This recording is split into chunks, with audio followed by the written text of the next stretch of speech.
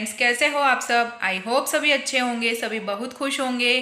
तो हाँ अभी तीन चार दिनों के अंदर गणेश चतुर्थी आने वाली है और हमारे राजस्थान में तो गणेश चतुर्थी के दिन दाल, बाटी, चूरमा ये सब चीज़ें बनती है और बाहर आउट ऑफ़ स्टेट का तो मुझे कोई आइडिया नहीं है, लेकिन राजस्थान में तो ये चीज़ें बनती ही है। तो उसके लिए मैंने ये वीडियो शूट किया है। आप लोग घर में अपने दाल बाटी तो बनाते ही होंगे, लेकिन मैं आज आपके साथ एक बिल्कुल नए तरीके की बाटी की रेसिपी शेयर कर रही हूँ। बाफला बाटी भी सबके घर में ऑलमोस्ट बनती है, लेकिन जिस तरीके से मैं बना रही हूँ, मुझे यकीन है कि उस तरीके से तो बाफला बाटी किसी ने आज तक नहीं बनाई होगी। और अगर उस तरीके से किसी ने बनाई है तो मुझे कमेंट बॉक्स में ज़रूर बताना कि हाँ ये तरीका हमको पहले से आता था।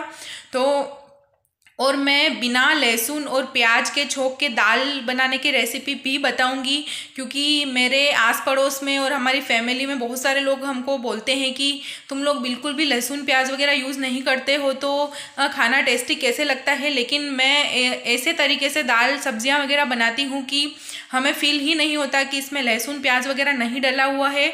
तो मैं आज इस तरह की स्वादिष्ट दाल की रेसिपी भी आपके साथ शेयर कर रही हूँ पार्टी की रेसिपी भी आपके साथ शेयर कर रही हूँ और साथ ही मॉर्निंग ब्रेकफास्ट में भी मैंने कुछ अलग से बनाया था। तो उसकी रेसिपी भी मैं आपके साथ शेयर कर रही हूँ। मैंने बनाए हैं मसाला सैंडविच लेकिन बिल्कुल आ, मसाला सैंडविच में एक अलग से ट्विस्ट है। मैंने बिना ब्रेड यूज़ किए मसाला सैंडविच बनाए हैं तो मैंने किस तरह से बनाए हैं? तो मैं उसकी रेसिपी आपके साथ शेयर कर रही हूँ। आज आइए चलिए, पहले हम बनाएँगे नाश्ता, जिसमें मैं बना रही हूँ मसाला सैंडविच और उसके बाद मैं आपके साथ शेयर करूँगी दाल बाटी। चूरमा भी हम लोगों ने बनाया था, लेकिन चूरमा बनाया मम्मी ने और मैंने बनाई दाल बाटी। तो हम दोनों ने ये काम साथ में ही किया था और मैं दाल बाटी की रेसिपी शूट कर रही थी। इसकी वजह से मैं चूरमा की रेसिपी शूट नहीं कर पाई। तो मैं चूरमा की रेसिपी आपके साथ शेयर नहीं कर रही हूँ। Only dal baati and masala sandwich की रेसिपी ही मैं आपके साथ शेयर कर रही हूँ। तो मैंने बहुत मेहनत की है ये रेसिपी बनाने के लिए। तो अगर आपको मेरी ये रेसिपी पसंद आए तो प्लीज़ मेरी रेसिपी को ज़्यादा से ज़्यादा शेयर करना, अपनी फ्रेंड्स फैमिली सबके साथ ये वीडियो शेयर करना और ज़्यादा से ज़्यादा मेरे वीडियो को लाइक करना शेयर करना और अगर मेरे चैनल को आपने सब्सक्राइब नहीं किया है तो आगे इसी तरह के अच्छे अच्छे वीडियोज़ देखने के लिए मेरे चैनल को सब्सक्राइब करना। और हर वीडियो की नोटिफिकेशन सबसे पहले आपको मिले और सबसे पहले मेरा वीडियो आप देखें। इसके लिए जो बेल आइकन है, उसे प्रेस करना नहीं भूलना। तो चलिए स्टार्ट करते हैं हम आज का वीडियो तो पहले मैं बना रही हूँ हमारे मसाला सैंडविच एक्चुअली ये मसाला सैंडविच, ढोकला भी आप इसको बोल सकते हैं क्योंकि ये ढोकला ही है, लेकिन इसको मैंने एक अलग से ट्विस्ट दे के बनाया है।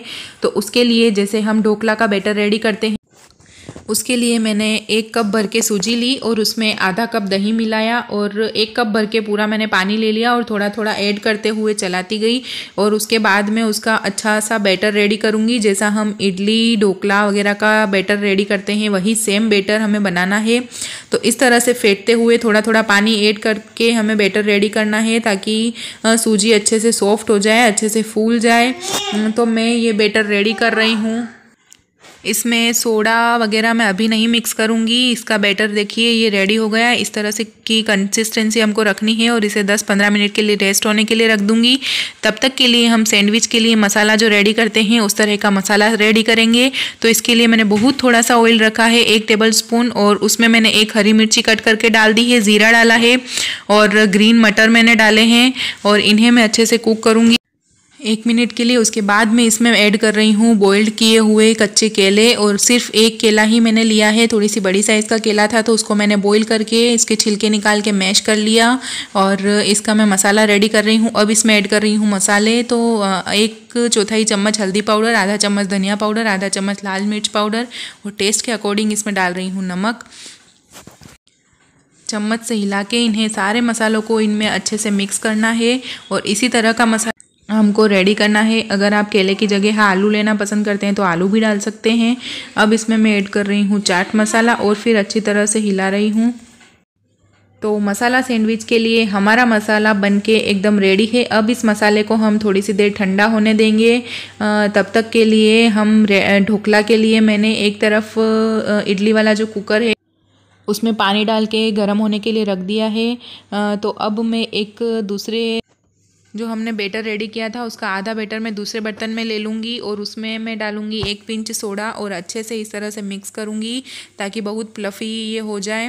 और उसके बाद जो मेरी ढोकला की ट्रे है, उसको मैं ऑयल से ग्रीस कर दूँगी ताकि ये अच्छे से निकल जाए बाद में और उसके अंदर ये बैटर डाल दूँगी जिसमें मैंने सोडा मिलाया है। अगर आपके पास सोडा नहीं है और इनो फ्रूट सोल्ट है तो वो भी आप आधा चम्मच इसमें यूज़ कर सकते हैं। तो इसको मैंने एक मिनट के लिए मैं कुक करूँगी और एक मिनट के बाद देखिए थोड़ा सा ये कुक हो गया है। और उसके बाद इसके लिए जो हमने मसाला रेडी किया था, वो मसाला हम इसके ऊपर अच्छे से स्प्रे स्प्रेड कर देंगे। पूरे ढोकले के ऊपर हमें सारा मसाला अच्छे से फैलाना है, कहीं भी खाली नहीं छोड़ना है, कहीं ज़्यादा नहीं रखना है। एक एक जैसा पूरे पे हमें इसे फैला देना है और हाथ से मैं इस तरह से प्रेस करती हुई पूरे पे फैला दूँगी। तो ये मसाला सैंडविच ढोकला हमारा बहुत टेस्टी लगता है। इस तरह से, इसी सेम तरीके से हम इडली भी बना सकते हैं। तो आप भी एक बार इस रेसिपी को ज़रूर ट्राई करना। उसके बाद जो दूसरा बेटर था, उसके अंदर भी मैं सोडा मिक्स कर दूँगी और उसको इसके ऊपर डाल के और अच्छे से पूरे पे स्प्रेड कर दूँगी। पूरे ढोकले के ऊपर हमें इसे स्प्रेड करना है। तो एक बार ये नए तरीके का मसाला सैंडविच ढोकला आप भी बना के ज़रूर ट्राई करना और कैसा लगा मुझे कमेंट बॉक्स में ज़रूर बताना। तो इस तरह से पूरे पे स्प्रेड करके इसे फिर हमें 10 मिनट के लिए कुक होने देना है। 10 मिनट के बाद मैं खोल के देख रही हूँ तो मेरा ढोकला एकदम परफेक्टली कुक हो गया है। बहुत अच्छे से स्टीम हो गया है। मैंने फोक डाल के देखी तो देखिए एकदम परफेक्टली बाहर आ गई है। कोई गोल इस पर नहीं चिपका है। तो मैं इस प्लेट को बाहर निकाल के पाँच से सात मिनट के लिए ठंडा होने दूँगी। उसके बाद इसकी साइड को इस तरह से नाइफ से अलग कर दूँगी और फिर इस ट्रे को मैंने इसके अंदर, ढक्कन के अंदर ही उल्टा कर दिया है। तो देखिए परफेक्टली बाहर निकल गया है और कितना अच्छे से सॉफ्ट भी ये बना है। अब इसके मैं टुकड़ों में कट कर दूँगी। हाँ इसकी कटिंग आप, आपकी इच्छा से कोई भी शेप आप इसमें दे सकते हैं। मैं तो स्क्वायर शेप ही दे रही हूँ। अगर आप ट्रायंगल में बनाना चाहें तो ट्रायंगल शेप भी इसको दे सकते हैं। तो इस तरह से मैंने इसको कट कर लिया है और उसके बाद हम इसके लिए तड़का तैयार करेंगे। तड़के से इसका टेस्ट डबल हो जाएगा।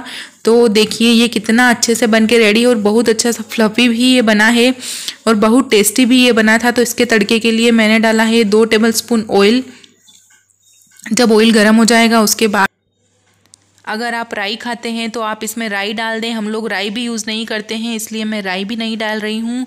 उसके बाद मैं डाल रही हूँ इसमें लंबी कटी हुई दो हरी मिर्ची करी पत्ता और डालूँगी ज़ीरा। और सबसे मेन इसमें मैं डालूँगी तिल। तिल से इसका टेस्ट बहुत अच्छा आ जाता है।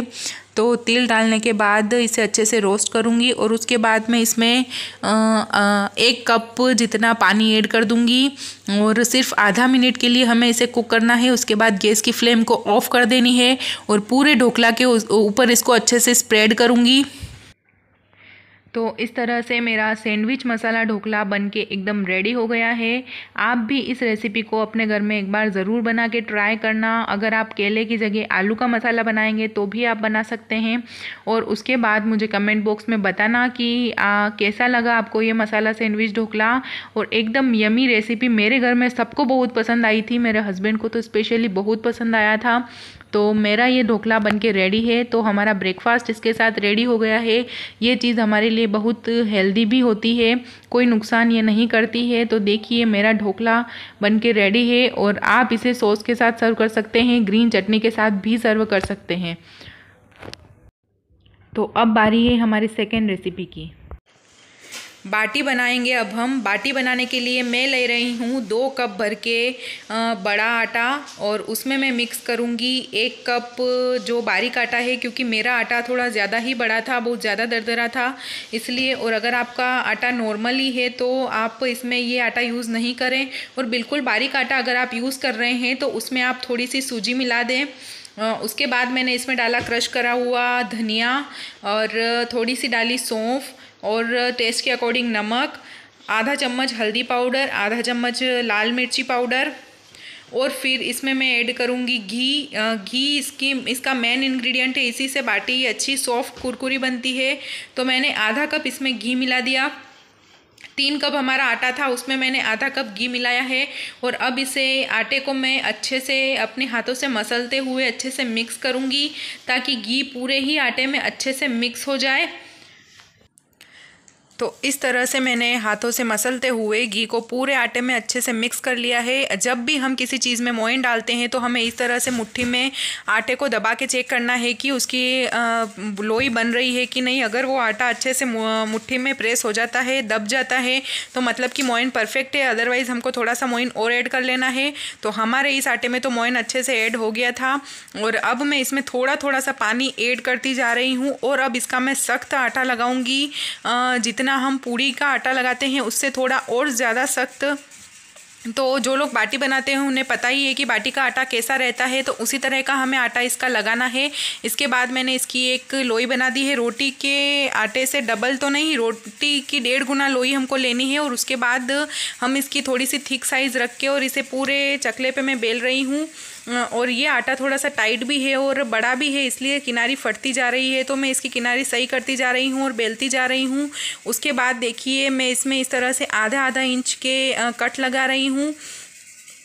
तो पूरी ही रोटी पे मैंने इस तरह के कट लगा दिए हैं और अब इन स्ट्रिप्स को मैं एक दूसरे के ऊपर रखती जाऊँगी और इसका इस तरह से एकदम टाइट रोल हमें बनाना है। ये रोल बहुत इजीली बन जाता है और बहुत टाइट हमें थोड़ा सा हाथ से अच्छे से टाइट हमें इसे बनाना है ताकि ये खुले नहीं। वैसे बहुत ईजीली बन जाता है और खुलता भी नहीं है। आटे से आटा अच्छे से चिपक भी जाता है। मुझे तो ये काम करने में बहुत मज़ा आ रहा था क्योंकि राउंड राउंड करके सर्कल करके इसका रोल हम बना रहे थे। तो इस तरह से मैं इसका ये पूरा सर्कल बना दिया है। एक स्ट्रिप बस मैं इसमें और लूँगी, क्योंकि अगर सारी लूँगी तो बाटी थोड़ी ज़्यादा बड़ी हो जाएगी और एक बाटी मुझे न्यू के लिए छोटी भी बनानी है, इसलिए मैंने ये छोड़ दिए हैं और इसे हाथों से मैंने अच्छे से थोड़ा सा प्रेस कर दिया है।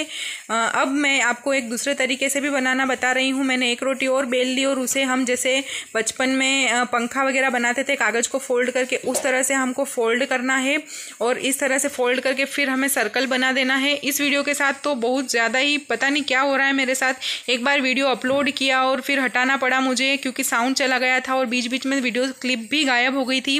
तो इस तरह से मैंने सारी बाटी बना ली और अब मैंने पानी उबाल के मैंने पीतल का बर्तन लिया है। आप चाहे तो कोई भी बर्तन इसमें यूज़ कर सकते हैं, बस बर्तन थोड़ा सा मोटे पेंदे का और बड़ा होना चाहिए। उसके बाद मैंने, मैं इसे पंद्रह मिनट के लिए उबलने दूँगी और अब मैं बना रही हूँ स्वादिष्ट दाल जो बिना लहसुन प्याज की मैं बना रही हूँ। तो दाल बनाने के लिए मैंने एक पैन में ऑयल गरम करने के लिए रख दिया है और कुछ गरम मसाला मैं घर पे ही बना रही हूँ। उसके लिए मैंने चार पाँच काली मिर्ची, एक तीन लौंग, एक बड़ी इलायची, इन सबको मैंने क्रश कर लिया है और अब मैंने तेल में डाली है हरी मिर्ची, तीन तेज़पान के पत्ते और एक खड़ी लाल मिर्च और इनको मैं अच्छे से तेल में रोस्ट करूँगी। उसके बाद मैंने इसमें ऐड कर दिए हैं करी पत्ते और थोड़ा सा ज़ीरा और थोड़ा सा डालूँगी हींग और उसके बाद मैं इसमें डाल रही हूँ टमाटर। टमाटर सिर्फ़ मैंने आधा ही यूज़ किया है क्योंकि उड़द की दाल हम बना रहे हैं तो उड़द की दाल में बहुत ज़्यादा टमाटर हम डालेंगे तो उसका फ्लेवर अच्छा नहीं आएगा। लेकिन हाँ आधा टमाटर अगर हम इसमें यूज़ कर लेंगे तो दाल का फ्लेवर बहुत बढ़ जाएगा और टेस्ट उसका डबल हो जाएगा। तो इसके लिए मैंने इसमें आधा टमाटर डाल दिया है और टमाटर को मैं अच्छे से कुक होने दे रही हूँ। उसके बाद एक मिनट के लिए जब ये कुक हो जाए, उसके बाद मैं इसमें ऐड करूँगी कुछ मसाले।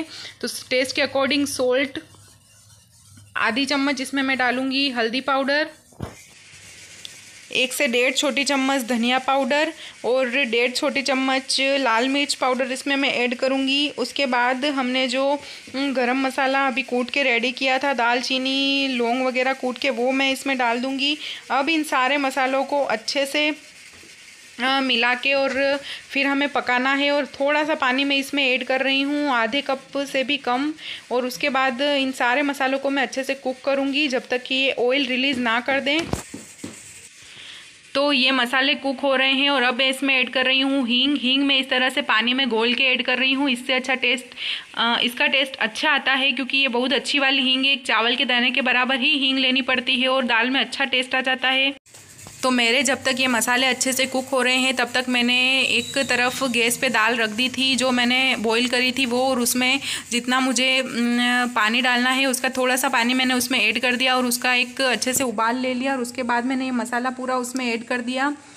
तो देखिए, ये मैंने इसमें मसाला ऐड कर दिया है। इसमें अब मेरी जितनी ज़रूरत है, उतना मैं थोड़ा पानी मिलाऊँगी। मैंने एक कटोरी दाल ली थी, उसमें मैंने चार कटोरी के लगभग मैंने इसमें पानी ऐड किया है। ये हम चार लोगों के लिए परफेक्ट दाल है।